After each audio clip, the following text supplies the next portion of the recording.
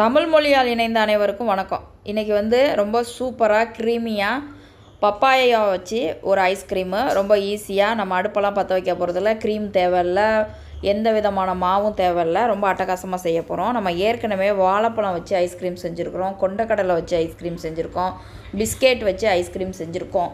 அதெல்லாம் நீங்கள் பார்க்கலைனாக்கா லிங்க் தரேன். கண்டிப்பாக ட்ரை பண்ணி பாருங்கள் ரொம்ப ஈஸியான ஐஸ்கிரீம்ஸ் தான் எல்லாமே. இப்போது பப்பாயா வந்து நான் சின்ன சின்ன பீஸாக கட் பண்ணி ஃப்ரீசரில் ஒரு ரெண்டு மணி நேரம் வச்சுருந்தேன். பாருங்கள் எவ்வளோ ஹார்டாக இருக்குது அப்படின்னு சொல்லிட்டு. இதை நம்ம வந்து ஒரு மிக்ஸி ஜாரில் மாற்றிக்கலாம் பப்பாயா எல்லாருக்கும் பிடிக்கும்னு சொல்ல முடியாது. சில பேருக்கு பிடிக்கும் சில பேருக்கு பிடிக்காது. ஆனால் இந்த மாதிரி ஐஸ்கிரீம் செஞ்சு கொடுத்தீங்கன்னா எல்லாருக்குமே பிடிக்கும். கண்டிப்பாக எல்லாருமே சாப்பிடுவாங்க. நீங்கள் நல்லா ஸ்வீட்டான பப்பாயாவாக இருக்காங்கிறத மட்டும் செக் பண்ணிவிட்டு நீங்கள் ஐஸ்கிரீம் செய்யுங்க. சில இது பப்பாயா வந்து அவ்வளோ ஸ்வீட்டாக இருக்காது. அதில் செஞ்சிங்கனாக்கா அவ்வளோ தூரத்துக்கு நல்லா இருக்காது.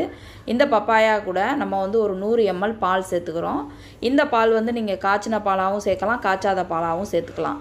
கூடவே நம்மளோட சுகருக்கு தகுந்த அளவுக்கு நீங்கள் சேர்த்துக்கோங்க. ஆல்ரெடி பப்பாயா வந்து ரொம்ப சுகராக இருக்குது அப்படிங்கிறனால நான் ஒரு ரெண்டு டேபிள் ஸ்பூனுக்கிட்ட சுகர் எடுத்துருக்கிறேன். இதை நல்லா மிக்சியில் ப்ளெண்ட் பண்ணி எடுத்துக்கலாம். பாருங்கள் பார்க்கும்போதே எவ்வளோ க்ரீமியாக இருக்குது அப்படின்னு சொல்லிட்டு இப்போவுமே சாப்பிட்றலாம் அவ்வளோ நல்லாயிருக்கும் பசங்களுக்கு இப்போ இப்படியும் கொடுத்து பாருங்கள் நல்லாயிருக்கும் வேணும்னாக்கா நம்ம வந்து ஏர்டை பாக்ஸில் போட்டு ஒரு ரெண்டு மணி நேரம் கழித்து மறுபடியும் மிக்ஸி ஜாரில் போட்டு எடுத்திங்கன்னா இன்னுமே நல்லா ஸ்ட்ரக்சர் வந்து இன்னும் சூப்பராக இருக்கும். இந்த ஐஸ்கிரீமை நம்ம வந்து ஒரு எட்டு நாள்கிட்ட ஃப்ரிட்ஜ் ஃப்ரீசரில் வச்சு ஸ்டோர் பண்ணி சாப்பிட்லாம். இப்போ ஒரு பாக்ஸில் நம்ம பிளெண்ட் பண்ணி வச்சுருந்த பப்பாயாவை நம்ம இதில் மா மாற்றிக்கலாம் மாற்றிக்கிட்டு நல்லா கரெக்டான லெவல் வச்சுட்டு ஃப்ரீசரில் ஒரு ரெண்டு மணி நேரம் வச்சு எடுத்துக்கோங்க. வச்சு எடுத்துகிட்டு இன்னொரு தடவை பிளெண்ட் பண்ணிவிட்டு வச்சாலும் நல்லா க்ரீமியாக இருக்கும். பட் ஆனால் இந்த பப்பாயா வந்து எனக்கு நல்லா க்ரீமியாக இருக்குது அப்படிங்கிறனால நான் ஒரு தடவை தான் பிளெண்ட் பண்ணி எடுத்துக்க போகிறேன் உங்களுக்கு வேணும்னா நீங்கள் ரெண்டு தடவை பிளெண்ட் பண்ணிங்கனாக்கா இன்னும் நல்லா ஸ்ட்ரக்சர் வந்து சூப்பராக இருக்கும். இந்த மாதிரி பப்பாயா மட்டும் இல்லை எல்லா ஃப்ரூட்ஸ்லையுமே செய்யலாம். தர்பூசணிலையும் செய்யலாம் ரொம்பவே நல்லாயிருக்கும் பப்பாயாவும் நல்லாயிருக்கும் மேங்கோவும் நல்லாயிருக்கும் இந்த மாதிரி டிஃப்ரெண்ட்டாக நீங்கள் ட்ரை பண்ணி பாருங்கள் மற்ற பழங்கள்லையும்.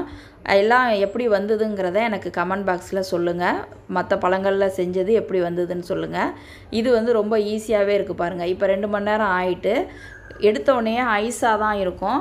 கொஞ்சம் ஒரு அஞ்சு நிமிஷம் அப்படியே விட்டுருங்க. அதுக்கப்புறம் நம்ம ஸ்கூப் வச்சு ஸ்கூப் பண்ணும்போது தான் நல்லா சூப்பராக க்ரீமியாக வரும். நீங்கள் எடுத்தோடனே நம்ம எடுத்தோம்னாக்கா ஐஸ் ஐஸாக தான் இருக்கும். இப்படியா கொஞ்சம் அஞ்சு நிமிஷத்துக்கு அப்புறம் தான் நல்லா க்ரீமியாக கிடைக்கும். இப்போது நம்ம சர்வ் பண்ண ஆரம்பிச்சிடலாம். ஒரு ப பிளேட்டில் உங்களுக்கு என்ன எப்படி டெக்கரேஷன் பண்ணணும்னு உங்களுக்கு தோணுதோ அந்த மாதிரி நீங்கள் டெக்கரேஷன் பண்ணிக்கலாம். கண்டிப்பாக இந்த மாதிரி ட்ரை பண்ணி பாருங்கள் மற்ற பழங்கள்லையும் செஞ்சு பாருங்கள் மற்ற பழங்களில் செய்யும்போது அதோட ஸ்ட்ரக்சர் எப்படி வந்ததுங்கிறத கண்டிப்பாக எனக்கு கமெண்டில் சொல்லுங்கள் மற்ற ஐஸ்கிரீம் ரெசிபியஸையும் நீங்கள் பாருங்கள் பாருங்கள் நான் இதுக்கு வந்து இன்றைக்கி வந்து என்ன வச்சு டெக்கரேஷன் பண்ணியிருக்கேன் அப்படின்னு பார்த்தீங்கன்னா நட்ஸ் மட்டும் மேலாப்பில் தூவியிருக்கேன். உங்களுக்கு வேணும்னாக்கா நீங்கள் சாக்லேட் சிரப்பு எது வேணாலும் உங்களோட டேஸ்ட்டுக்கு தகுந்த மாதிரி நீங்கள் வந்து டெக்கரேட் பண்ணிக்கலாம். ரொம்ப அருமையாக வந்திருந்தது. உங்களுக்கு பப்பாயா வாடையெல்லாம் இதில் கண்டிப்பாக இல்லை. பப்பாயா வாடையெல்லாம் இல்லை. ரொம்ப சூப்பராக இருந்தது. நம்ம ஃப்ரீஸ் பண்ணிட்டேங்கிறனால அந்த வாடையெல்லாம் இல்லை. பாலும் வந்து பால் வாடையும் அவ்வளோ தூரத்துக்கு இல்லை. ரொம்பவே டேஸ்ட்டாக இருந்தது. ரொம்ப பிரமாதமாக இருந்தது. கண்டிப்பாக ட்ரை பண்ணுங்கள் நம்ம சேனலை சப்ஸ்கிரைப் பண்ணுங்கள் உங்கள் ஃப்ரெண்ட்ஸோட ஷேர் பண்ணுங்கள் தேங்க்யூ